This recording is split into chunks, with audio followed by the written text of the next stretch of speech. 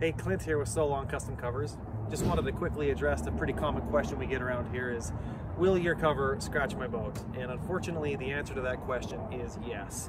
Uh, even ours, we believe is the best fitting, tightest cover you can get is going to scratch your boat, unfortunately. Uh, when you're traveling at 70 to 80 miles an hour down the freeway, there's just a lot of fabric there that can, can flap. Uh, you, you're, you're really going to notice it more on darker areas. In the lighter areas, you won't notice it nearly as bad, but it's still going to be there.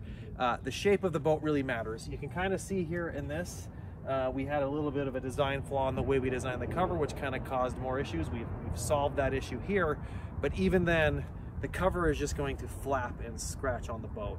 Um, snap covers, I know you don't want to hear this, people don't want snaps in their boat, but if traveling is your number one reason for wanting a cover, uh, if, your if your lake is four to five hours away or six or seven, in some cases, snap covers are going to be best because the cover is going to be held into place, it can't move.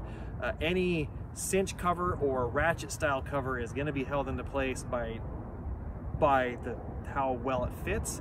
And even then because you're going up over the windshield and then nowadays even going over the tower there's just a lot of fabric there to catch wind flap and chafe on the boat.